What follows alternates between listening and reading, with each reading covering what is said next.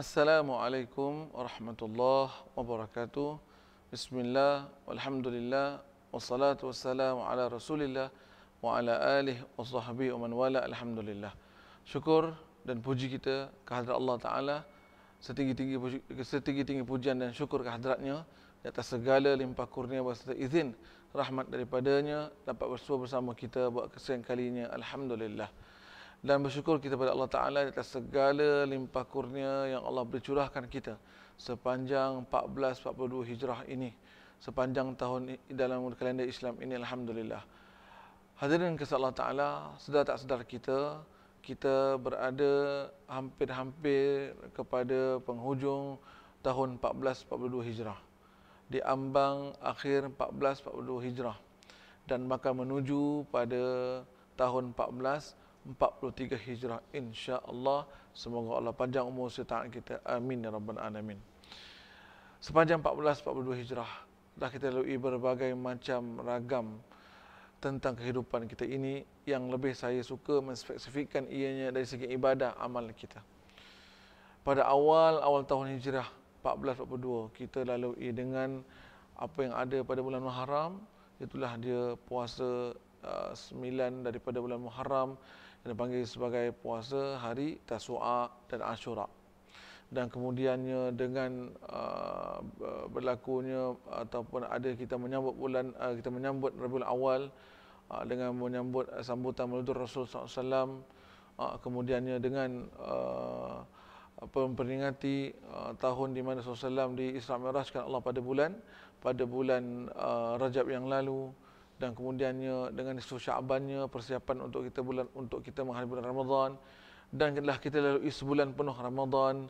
Dan kemudian Syawalnya dan kemudian dengan ibadah bulan Zulhijjahnya itulah dia dengan dengan uh, ibadah haji. Walaupun kita tak dapat tunaikan haji tahun ini kita doa bagi Allah Taala kepada Allah Taala semoga kita dapat tunaikan haji nanti insya-Allah pada tahun hadapan. Amin. Uh, dengan puasa tasu'anya dengan maaf dengan puasa hari Arafahnya dengan dengan ibadah korbannya Masya Allah, tabarakallah, subhanallah. Berbagai macam perkara yang kita lalui sepanjang 1442 Hijrah ini. Maka di ambang hujung 1442 Hijrah ini, marilah sama-sama kita muhasabah diri. Marilah sama-sama kita renung dan tenung. Apakah yang akan kita lakukan pada nanti 1443 Hijrah. Segala apa kita lakukan pada 1442 Hijrah ini, adakah ia menepati apa yang diredai Allah Ta'ala sepanjang 1442 Hijrah ini apa yang telah kita isikan ruang-ruang yang ada masa-masa yang diberikan anugerah Allah Taala pada kita dengan apakah kerja, apakah aktiviti, apakah perkara yang kita telah lakukan dalam untuk mendapat dan mencapai keridhaan Allah Subhanahu Wa Taala. 1442 Hijrah ini apa yang telah kita usahakan dan apa dah telah kita capai dari segi amal ibadah kita. Umpama contoh, Ah, pada awal-awal hijrah yang lalu, pada awal tahun 1442 hijrah yang lalu, kita berniat mungkin, kita pasang niat mungkin uh, untuk nak kita mempelajari Al-Quran ataupun untuk kita nak memperhalusi ibadah solat kita. Pada hujung-hujung 1442 hijrah ini, sama-sama kita muhasabah. Sudah tercapaikah, sudah termakbulkah segala apa yang kita hajatkan dan impikan dan kita dan kita ingin tuju dan kita impikan dan kita matlamatkan. Ah, andai kalau sudah tercapai, Alhamdulillah. Tapi kalau mungkin belum, ini petanda bahawa kita masih insya Allah diberikan Allah Ta'ala tahun hadapan untuk perbaiki diri kita. Untuk pertingkatkan diri kita lagi. Untuk perhebatkan lagi amal ibadah soleh kita insya Allah pada Allah Subhanahu Wa Ta'ala.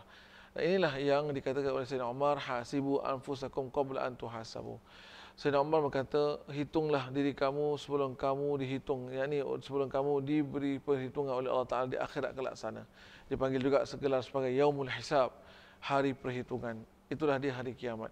Yang mana hari itu akan dihitung segala amal kebaikan dan juga amal kejahatan kita. A'udzubillah min za min zalik. Maka itu hadirin kisah Allah SWT pada hujung-hujung bulan pada hujung-hujung bulan Syak, bulan bulan, Zulhijjah ini pada hujung-hujung tahun 1442 Hijrah ini mari sama-sama kita muhasabah diri kita. Dalam masa yang sama juga kita persiapkan diri kita kita pasang niat lagi kita untuk menghadapi untuk memasuki uh, bulan uh, ataupun tahun baru Zul, bulan baru Hijriah 1442 1443 Hijrah insya-Allah dengan semangat yang baru dengan uh, kita katakan dengan akhlak yang baru yang lebih baik lagi dengan tutur kata yang baru yakni yang baik lagi sempurna dan dengan uh, semangat untuk kita menambah ilmu pengetahuan dari segi agamanya dan untuk kita memperbaiki segala macam amalan ibadah kita dan in, dan juga untuk kita perbaiki dalam kita menggauli uh, keluarga kita dalam kita menyantuni ahli keluarga kita dalam kita membesarkan anak-anak kita dalam kita memberi pendidikan agama untuk anak-anak kita untuk cucu-cucu kita inilah yang dikatakan sebagai action plan. Apa nak kita buat lakukan pada masa akan datang pada tahun yang akan datang pada 1443 Hijrah akan datang. Namun mungkin ada uh, suara-suara sumbang yang mengatakan bahawa ustaz kita ni nak kata nak plan-plan apa ni semua ya base dan kata tahun depan. Besok ni pun kita tak tahu kita hidup ke tidak nah hadirin guys Allah taala itu pastilah kita tak nafikan di mana jangan kata esok sebentar saja lagi nanti pun kita tak tahu sama ada kita masih hidup ataupun tidaknya. Maka kalau semua insan, semua manusia berfikir demikian, maka pastilah dan sudah pastinya manusia tak akan buat apa, tak akan perbuat apa-apa. Tak akan usahakan apa-apa sebab dah tahu lepas ni mungkin mati. Jadi tak boleh tak payah buat apa-apa lah. Ha. Teringat juga saya sekali lagi kata-kata Sayyidina Umar Al-Khattab mengatakan bahawasanya ya hiduplah kamu seolah-olah seperti kamu hidup ya, selama-lamanya. Ya, dan beramallah kamu ataupun kerjalah kamu ya, untuk untuk dunia kamu seolah seperti kamu hidup selama-lamanya.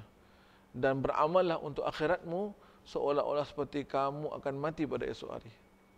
Dalam sabda baginda Nabi SAW juga mengatakan bahawasanya andai kalau sudah berlaku kiamat sekalipun dan di tanganmu ada benih yang perlu kamu tanam, tanamlah dia. Oh, kama Rasulullah SAW di sini menunjukkan bahawa uh, kepada kita bahawasanya seorang muslim mukmin itu tidak seharusnya menjadi orang yang berputus asa. Tidak menjadi seorang yang senang berputus asa, senang pasrah. Dan apakah beza antara pasrah dan redha?